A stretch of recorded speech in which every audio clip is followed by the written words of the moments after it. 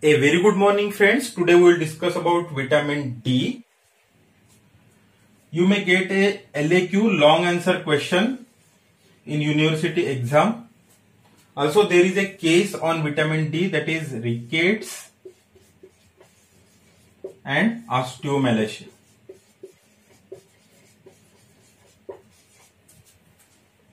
So we'll discuss about the chemistry of vitamin D followed by sources, recommended daily allowance, then biochemical functions, deficiency manifestations of vitamin D. Now coming to the chemistry part, there are two main sources of vitamin D or two main forms of vitamin D. The first one is the ergocalciferol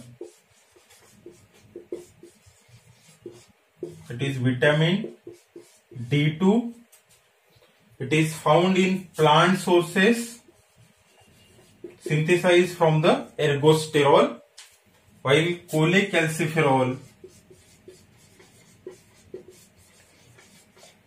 it is found in animal sources. It is known as vitamin D3. So these are the two forms of vitamin D. The calcitriol, which is an active form of vitamin D, it is synthesized from the er-, ergocalciferol from the plant sources or cholecalciferol from the animal sources. Coming to the discussion of synthesis of calcitriol or active form of vitamin D, The precursor for vitamin D synthesis is 7 dehydrocholesterol which is synthesized from the cholesterol. So 7 dehydrocholesterol which is present in epidermis of skin on exposure to the UVB rays or on exposure to sunlight, this 7 dehydrocholesterol is converted into cholecalciferol. It is known as vitamin D3 or it is also known as provitamin now this cholecalciferol by the action of 25 hydroxylase this reaction requires NADPH cytochrome P450 system and it requires oxygen. So this 25 hydroxylase it is present in the liver. Then 25 is bigger that's why it is present in the liver. One is smaller number one is present in the kidneys. So calciferol by the 25 hydroxylase reaction it is converted into 25 hydroxy cholecalciferol and this is a major circulatory and storage form of vitamin D that is 25 hydroxy cholecalciferol. Then by the action of 1 alpha hydroxylase which is present in the kidneys it is converted into 125 dihydroxy cholecalciferol The another name is calcitriol. It is a active form of vitamin D. Calcitriol is the active form of vitamin D. It contains three hydroxy group. That's why it is known as calcitriol. So this is the activation of vitamin D. 7-dehydrocholesterol which is present in the epidermis and dermis of the skin on exposure to the sunlight by UVB rays it is converted into cholecalciferol by the action of 25 hydroxylase in the liver, it is converted into 25 hydroxycholecalciferol, which is a major storage and circulatory form of vitamin D. This is converted into calcitriol, which is an active form of vitamin D in the kidney by the 1 alpha hydroxylase reaction. This also requires NADPH, cytochrome P450 and molecular oxygen. This is how vitamin D is activated in our body. So provitamins that are these are ergo ergocalciferol and cholecalciferol. These are the provitamins. Calcitriol is the active form and 25 hydroxycalciferol, cholecalciferol is a major circulatory and storage form of vitamin D. Now coming to the sources.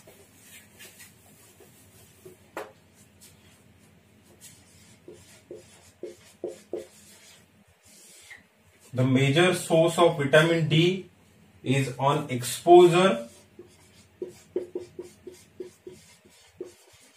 to sunlight.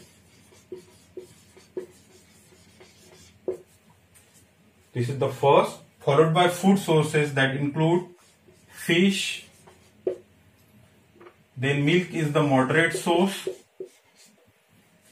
These are the sources of egg yolk. These are the sources of vitamin D. Now coming to the RDA. It is 400 international unit in case of children due to the growing age then it is 200 international unit for adults.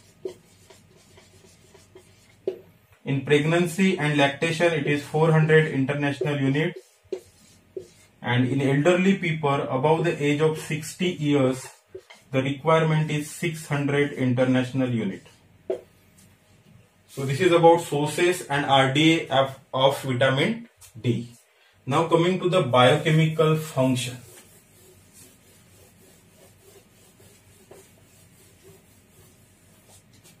in biochemical functions, the important role of vitamin D is to regulate the level of calcium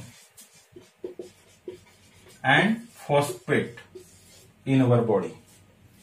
The prime function is to regulate the calcium level. Vitamin D is also known as hormone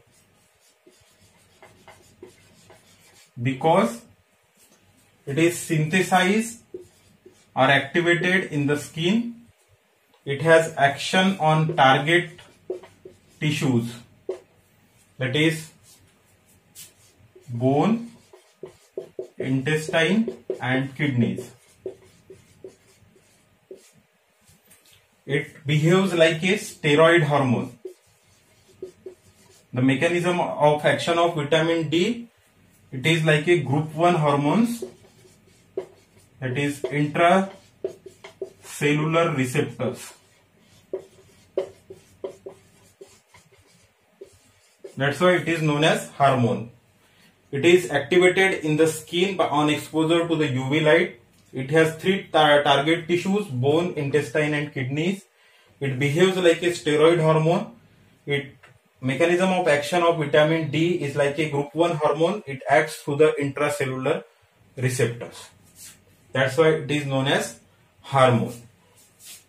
Now coming to the biochemical function of vitamin D. Main role of vitamin D is to regulate the calcium level. There are three target tissue through which it acts. The first one is the intestine. The brush border cells of intestine where vitamin D it increases the production of calcium binding protein. It increases the calcium uh, production of calcium binding protein by acting through a intracellular receptor. Means it this vitamin D binds with the intracellular receptor. It binds with the vitamin D responsive elements and increases the transcription or in, increases the synthesis of this protein. Protein synthesis that is synthesis of calcium binding protein. So it increases the synthesis of calcium binding protein and increases the intestinal absorption of calcium. Second target tissue for vitamin D is kidneys where it acts on renal tubular cells. Acts on renal tubular cells. It increases the reabsorption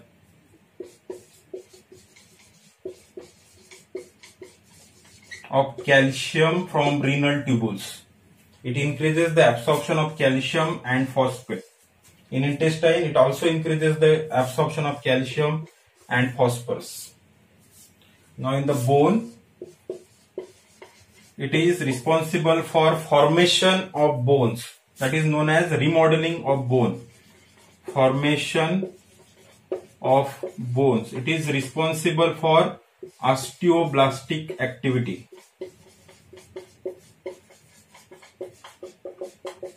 it increases the mineralization of bone deposition of calcium and phosphorus in the bone. So it helps in the bone formation. So these are the three target tissues on which vitamin D acts increases the calcium level. It is responsible for increasing the serum calcium level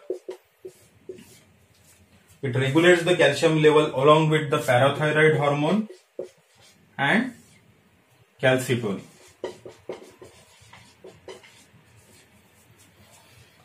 Now coming to the deficiency symptoms.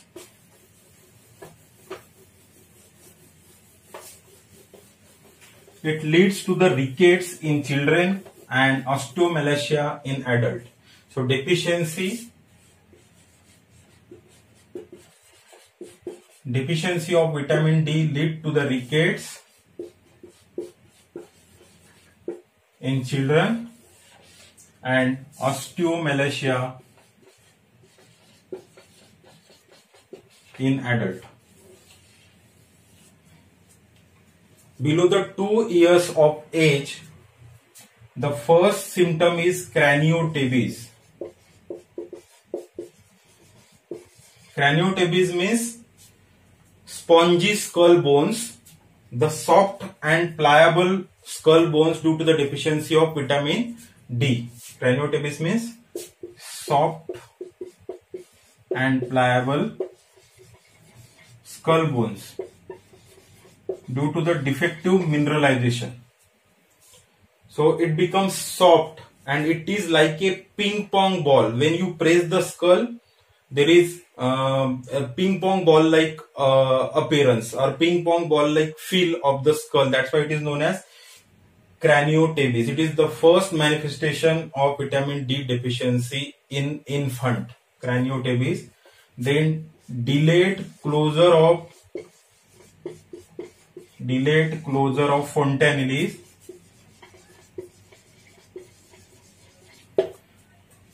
or bulging of the fontanelles occur in vitamin D deficiency. There is delayed closure, then frontal bossing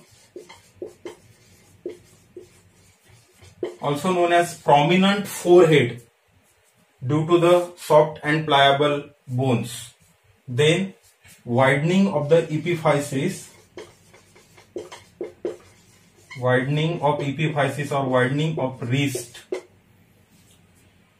Because of softness of the bone, there is lateral bulging occurs and due to that lateral bulging, widening of the wrist occurs. Mainly it in, uh, involves the radius and ulna radius and ulna.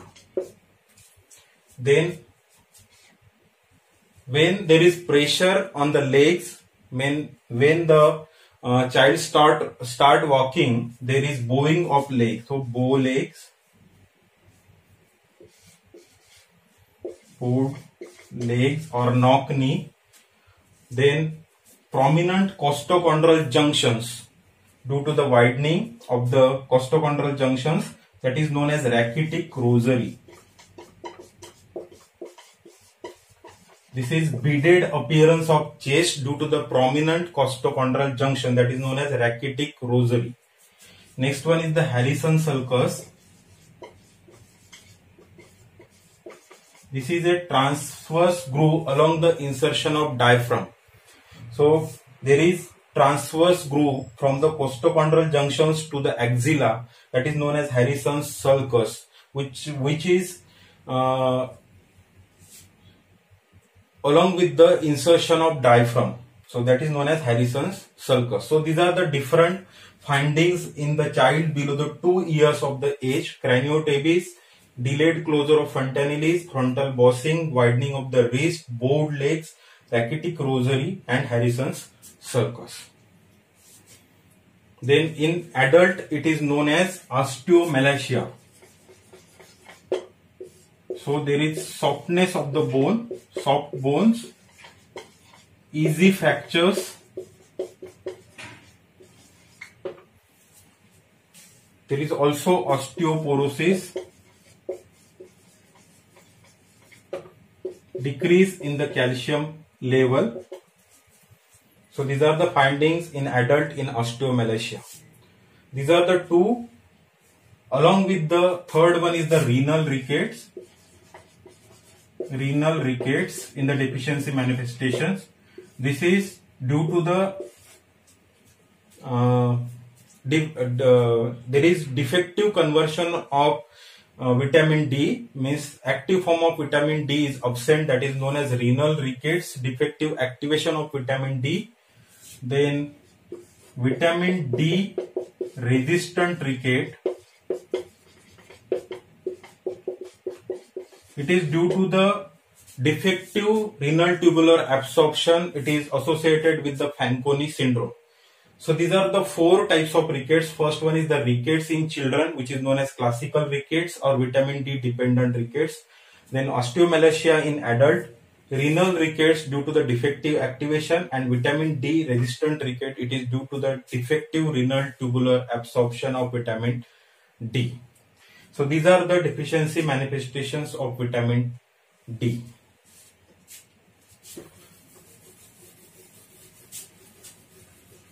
Now coming to the normal level of vitamin D as 25 hydroxy cholecalciferol is the major storage form of vitamin D 25 hydroxy vitamin D it is the major storage and circulatory form. When the level is below 30 nanogram per ml, it is known as insufficient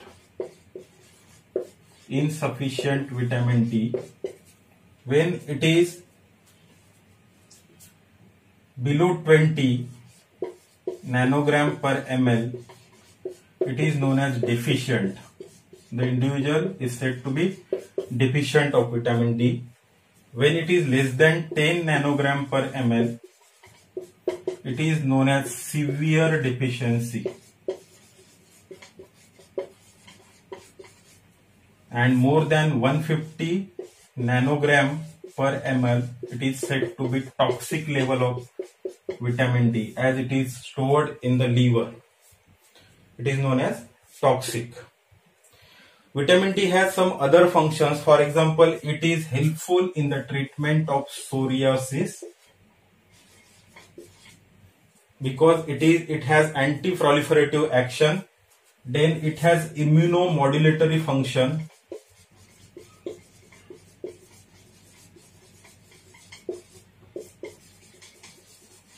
It is thought to be uh, prevent the uh, coronary artery diseases and it is useful in some cancers. So this is all about vitamin D. Chemistry parts, its provitamins, activation, action on three target tissue, deficiency manifestations, rickets, osteomalacia and the blood levels of vitamin D. So thank you. Keep watching.